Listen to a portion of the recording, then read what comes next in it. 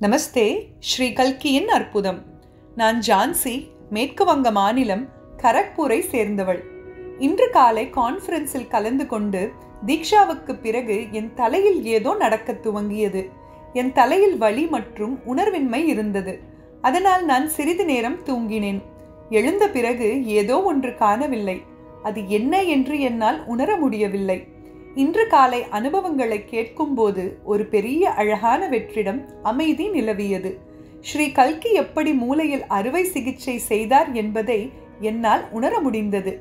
அதனால் என் எண்ணங்கள் முற்றிலும் நின்றுவிட்டன. என்ன நடந்தது என்பது பற்றி கூட எந்த எண்ணமும் இல்லை. என்னால் எல்லாவற்றையும் அனுபவிக்க மட்டுமே முடிகிறது. கடந்த பகவத் சாட்சா்கார செயல்முறையிலிருந்து ஒரு அழகான நிலையில் உள்ளேன். நான் அனுபவித்த பல்வேறு நிலைகள் என் குழந்தைகளும் அனுபவிப்பதை இந்த நிலைகளில் இருந்து அவர்கள் என் மாமியாருடன் விளையாடுவதையும் என்னால் பார்க்க முடிந்தது. கடந்த ஒரு வாரமாக எனது மாமியார் அமைதியாக உள்ளார். ஒவ்வொரு முறையும் சிரித்துக்கொண்டே தான் வாழ்க்கையை அனுபவிக்கிறார்கள். அபார ஆற்றலை உணர்கிறார்.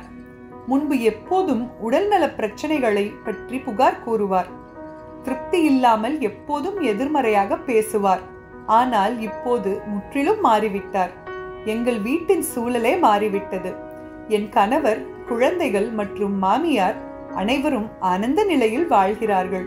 எங்கள் வீட்டுக்கு யார் வருகிறாரோ அவர்களும் இந்த ஆனந்த நிலையை பெறுகிறார்கள். ஸ்ரீ கல்கிக்கு எங்களின் இதயபூர்வமான அனந்த கோடி நன்றிகள்.